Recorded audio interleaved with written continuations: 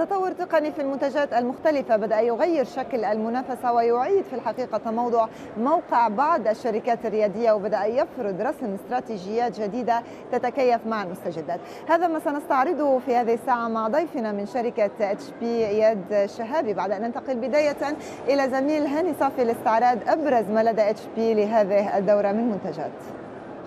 نحن الآن أمام منصة اتش بي لنستعرض أبرز التقنيات التي تم طرحها للمرة الأولى في أسبوع جايتكس للتقنية.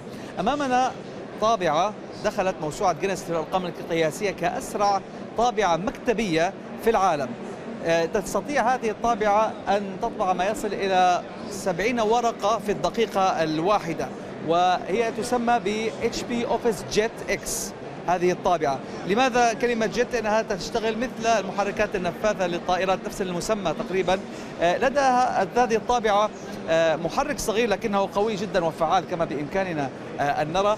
وأحد يعني المميزات لها هو وجود هذه الرشاشات النفاثة نحو 45 ألف رشاش نفاث وهذا يختلف عن الطريقة التقليدية في في الطابعات الموجودة التي تعمل بشكل شكل إلكتروني مختلف عن هذه الطابعة. هذا حول طابعة بي لكن أيضا لدى الشركة طرحت أجهزة لوحية جديدة تعمل بنظام ويندوز وكذلك أيضا نظام اندرويد بإمكانها أن تكون هي تعمل ك notebook وكذلك كجهاز لوحي. بالإمكان أن يتم فتحها واستخدامها كأي جهاز لوحي ولديها أيضا هذه لوحة المفاتيح التي أيضا تحتوي على بطاريات. يعني هذه طبعا تقريبا أبرز المميزات والمنتجات الجديدة التي قامت بطرحها HP في أسبوع جايتكس التقنية إذا ينضم إلي في هذه الأثناء المدير التنفيذي في شركة HP الشرق الأوسط سيد إياد شهابي أهلا وسهلا بك. أهلا معي أبدأ معك بموضوع التنافسية بشكل رئيسي يعني المرة الأولى ربما نتحدث أن Lenovo يعني تأخذ مكان HP في ريادة مبيعات الأجهزة أو الكمبيوتر الخاص بعدما كانت HP يعني تسيطر على هذا الموقع منذ 2002 تقريبا. ما هي الثغرة أو الخطوة التي غابت عنها HP وتمكنت Lenovo من من سدها؟ آه ما اليوم إذا بتطلع على ال portfolio تبع HP، ال portfolio تبع HP طبعا كثير وايد. اليوم الشركة الوحيدة بالعالم أكبر شركة طبعا IT بالعالم 120 مليار دولار الشركة الوحيدة اللي ممكن تأمن لأي مستهلك عندنا إن كان consumer ولا enterprise حلول تقريبا متكاملة من الطابعات لل personal computers لمراكز البيانات سيرفرات ال network infrastructure ال software كله اللي بيعمل management كامل لل environment الخدمات اللي بنأديها للعملاء بتقريبا أكثر من 170 دولة في العالم. ما في شركة ثانية ممكن تتنافس معنا. لما يكون في طبعا portfolio كثير كبير بصير في تحدي على الشركات مثل شركة HP إنه دائما بتكون سباقة للعالم. آخر 75 سنة تقريبا شركة HP دائما ماخذه مركز ريادي. السنة الماضية في 2000 و 2013 اللي انتهت تبعتنا شركة HP طلعت أكثر من 1200 patent بال Silicon Valley. إذا جمعت كل ال patents طلعت بال Silicon Valley شركة HP طلعت بأكثر. في كثير تركيز على الابتكار. نعم. هل ربما سبب أنكم تتوجهون أكثر إلى المؤسسات من الأفراد في حين Lenovo ربما كانت منتجاتها أيضا تتوجه إلى الأفراد أكثر من المؤسسات وبالتالي تمكنت من تحقيق مبيعات أكثر؟ التركيز بشركة HP دائما بغطي جميع ال segments تبع ال market. يعني اليوم في عندنا إحنا products خاصة لل consumers الافراد وفي عندنا طبعا products ثاني متخصصة للشركات. الشيء اللي عم بتغير التحول اللي صاير في في ال industry هلأ إنه صار في consumer بدخل ال enterprise يعني صار في ال employees العالم اللي بيروحوا على العمل بياخذوا ال device تبعهم من البيت.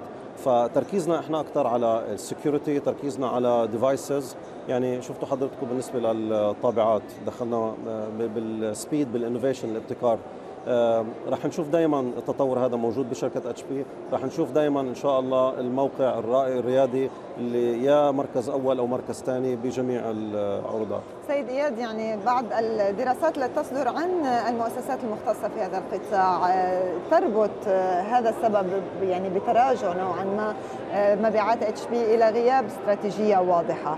إلى أي مدى هذا يعني هذه هذا الكلام صحيح؟ وهل أنتم في صدد تغيير استراتيجيتكم بما يستهدف أسواق جديدة؟ وأيضا تكييف منتجاتكم بما يلبي الطلب بشكل أكثر؟ بالنسبة لاستراتيجيه اتش بي استراتيجية اتش بي واضحة جدا. اذا بناخذها على ال macro level على ال worldwide level على العالمي. آه، تركيزنا طبعا على ال mobility على الحوسبة السحابية على ال security.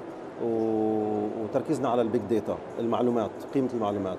هدول الأربعة pillars اللي إحنا مركزين عليها من من من worldwide level إذا بننزل على منطقة الشرق الأوسط بناخذ إحنا نفس ال pillars اللي مركزة عليها الشركة وبنحاول نطبقها ل آه، ونعمل لها customization للسوق المحلي. طريقة اتش بي عمل اتش بي في آه، منطقة الشرق الأوسط بيختلف من كل بلد. طريقة تعاملنا في منطقة في دولة الإمارات غير آه، عمان غير لبنان غير آه، العراق غير منطقة يعني الدول بتختلف. فبنحاول نحط الاستراتيجية تبعنا اللي تطابق ال priorities الموجودة في البلد على جميع ال segments إن كان على القطاع الحكومي أو على القطاع الخاص. طيب ماذا عن المنطقة العربية؟ ما هي الخطط على المدى القصير والمتوسط؟ خاصة نحن في الإمارات ونتحدث عن توجهات كما أعلن الشيخ محمد لمدينة ذكية بالكامل. هل لديكم خطط تواكب أيضا هذا التطور في المنطقة؟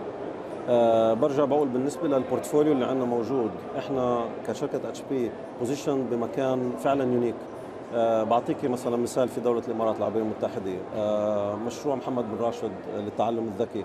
شركة HP كانت من الشركات المحظوظة إنه تشارك في تطبيق نظام آه، ال smart learning محمد بالنسبة لمجال بالنسبة لمجال التعليم. فالاشتراكات تبعونا مع دولة الإمارات ومع بعض دول آه، مجلس التعاون أو أي آه، دول ثانية بالنسبة لتطبيق ال e-government الحكومة الذكية. ال smart learning ال smart hospital smart cities طبعا فعال.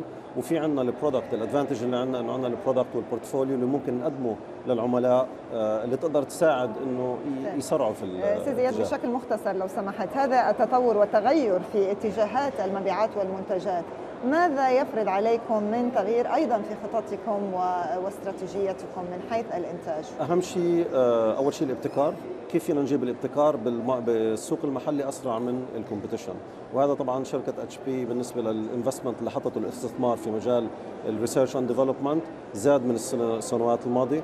وراح نشوف إن شاء الله investment أكثر في هذا المجال على أساس إنه نعم. نقدر نجيب التكنولوجيا على المنطقة أسرع من أي حدا نعم. اذا سيد إياد شهابي المدير التنفيذي ل HP الشرق الاوسط شكرا جزيلا لك على هذه المشاركة.